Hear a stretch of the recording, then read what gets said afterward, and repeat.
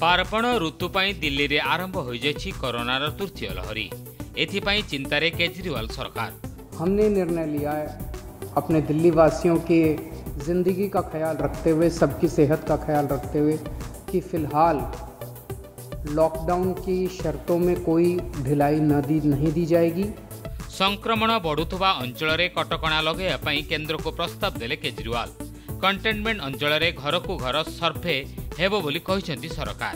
ଏବେ ଦେଶରେ କରୋନା ସଂକ୍ରମଣ କମୁଥିବା ବେଳେ ଖୋଦ୍ ରାଜଧାନୀ ଦିଲ୍ଲୀରେ ସଂକ୍ରମଣ ବୃଦ୍ଧି ରାଜ୍ୟ ଓ କେନ୍ଦ୍ର ସରକାରଙ୍କ ଚିନ୍ତା ବଢ଼ାଇ ଦେଇଛି। ଦିଲ୍ଲୀକୁ ପୁଣି ଫେରିପାରେ ଲକଡାଉନ। କରୋନା ସଂକ୍ରମଣର ଜଟିଳ ସ୍ଥିତିକୁ ଦୃଷ୍ଟିରେ ରଖି ମୁଖ୍ୟମନ୍ତ୍ରୀ ଅରବିନ୍ଦ କେଜରିୱାଲ ଏହି ପ୍ରସ୍ତାବ ଦେଇଛନ୍ତି। ଦିଲ୍ଲୀରେ କରୋନାର ତୃତୀୟ ଲହରୀ ଚାଲିଥିବା କୁହାଯାଇଛି। ତେବେ ଦୁର୍ଗାପୂଜା ଦିୱାଲି ଆଦି ପର୍ବ ପାଇଁ ଏହି ପରିସ୍ଥିତି ସୃଷ୍ଟି ହୋଇଥିବା କୁହାଯାଇଛି। କାରଣ ପୂଜା ସମୟରେ ଦିଲ୍ଲୀର ଅନେକ ସ୍ଥାନରେ ଲୋକେ ସରକାରୀ ଗାଇଡଲାଇନକୁ ବେଖାତିର କରିଥିବା ଦେଖିବାକୁ ମିଳିଥିଲା।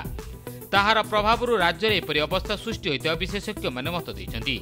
ଯେଉଁ ଅଞ୍ଚଳରେ ଲୋକେ କୋଭିଡ ନିୟମକୁ ମାନୁନଥିଲେ ସେସବୁ ଅଞ୍ଚଳ ଏବେ ହଟସ୍ପଟ ହୋଇଛି ବୋଲି ସରକାରଙ୍କ ପକ୍ଷରୁ କୁହାଯାଇଛି।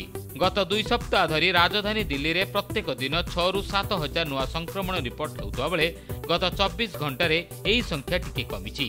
ଗତ ଚବିଶ ଘଣ୍ଟା ମଧ୍ୟରେ ଦିଲ୍ଲୀରୁ ତିନି ହଜାର ସାତଶହ ଅଣାଅଶୀ ନୂଆ ସଂକ୍ରମିତ ହୋଇଥିବା ବେଳେ ଅନେଶତ ଜଣଙ୍କର ମୃତ୍ୟୁ ହୋଇଛି। ଘର ଘର ବୁଲି ସର୍ଭେ କରିବା ପାଇଁ ଆଠ ହଜାର ଦଳଙ୍କୁ ନିଯୁକ୍ତ କରାଯାଇଛି। ଏଥିସହ ଆଗାମୀ ତିନିରୁ ଚାରି ଦିନ ଭିତରେ ଆଇସିୟୁ ବେଡ୍ ସଂଖ୍ୟା ତିନି ହଜାର ପାଞ୍ଚଶହରୁ ଛଅ ହଜାରକୁ ବୃଦ୍ଧି କରାଯିବ ବୋଲି କେନ୍ଦ୍ର ସ୍ୱାସ୍ଥ୍ୟ ମନ୍ତ୍ରଣାଳୟ କହିଛି। ଏଣିକି ବିବାହ ଉତ୍ସବରେ ଦୁଇଶହ ଲୋକଙ୍କ ପରିବର୍ତ୍ତେ ପଚାଶ ଜଣ ଲୋକ ଯୋଗ ଦେବାକୁ ସରକାର ରାଜ୍ୟପାଳଙ୍କ ଅନୁମତି ଲୋଡ଼ିଛନ୍ତି।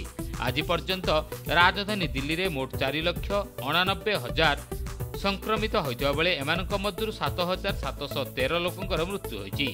Bureau Report, free to speak speak.in.